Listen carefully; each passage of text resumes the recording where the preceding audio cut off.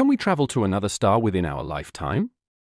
Right now, reaching Alpha Centauri, our closest star, would take 75,000 years with today's spacecraft.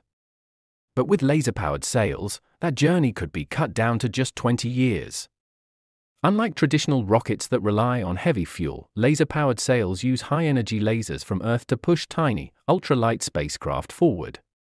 These small probes, called StarChips, are equipped with thin, reflective sails that catch the laser beam, accelerating them to 20% of the speed of light. That's an astonishing 60,000 kilometers per second. But there are challenges.